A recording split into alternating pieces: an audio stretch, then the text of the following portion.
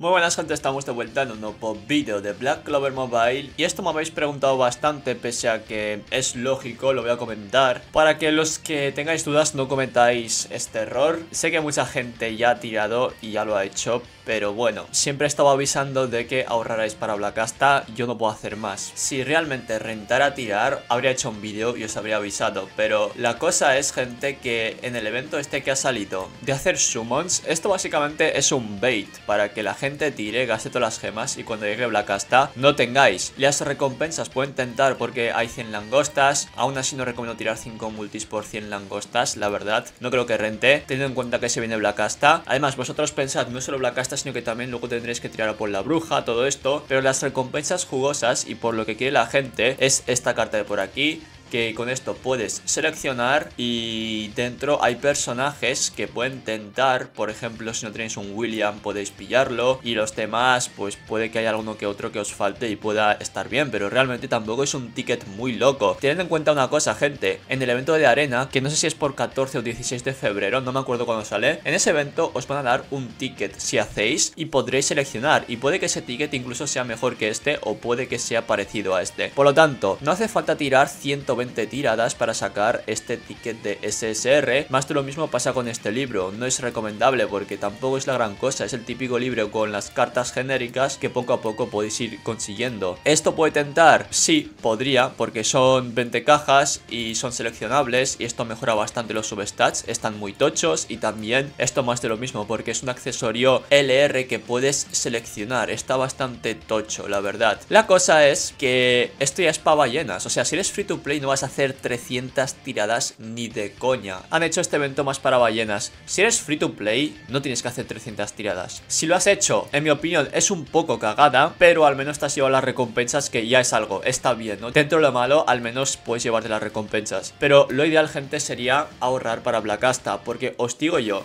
que todo lo que están dando aquí, ni de coña compensa perderte a Blackasta para sacarte esto. Pero es que ni de broma. Por lo tanto, es mejor skipear, es mejor saltarse este evento, los que lo habéis tirado, pues no tiréis más, no puedo dar otro consejo, realmente no creo que rente seguir tirando, si estáis cerca quizás del 250, a lo mejor dos o tres multis más podría rentar, pero que va, estas recompensas tienes que pagar mucho para obtenerlas y para nada renta. Y antes de que venga alguien a decir, no, es que lo haces muy tarde, no sé qué, es que he estado avisando todo el mes de que ahorréis para Blackasta y que no tiréis, gente. Si realmente valiese la pena, habría hecho un vídeo y os habría dicho, tirad aquí los free to plays. Pero es que no renta yo creo que la mayoría ya sabéis que esto es trampa, porque he avisado 30.000 veces de que Black hasta lo más seguro es que salga el 12 de febrero. No están diciendo nada, pero es que vosotros fijaos también que en el glosario, gente, ya sale Black hasta está dentro, por lo tanto está por caer. Lo más seguro es que sea eso y venga el 12 de febrero. Tengáis que tirarle y sacar el personaje. Y obviamente cuando salga Blackasta quizás no esté en su máximo esplendor ya que os faltará la bruja, pero igualmente os renta sacarlo, esperar un mes o lo que sea y luego ya saldrá la bruja, la pilláis y os vais a fundir todo el contenido. Obviamente, también tened en cuenta que Blackasta hay que subirlo, no os esperéis que solo por tener la bruja y el personaje os vayáis a pasar todo. Hay que invertir materiales, equipamiento, hay que cambiar los substats, todo esto. Pero cuando lo tenéis subido ya ahí sí que revienta muchísimo y con diferencia a los demás personajes.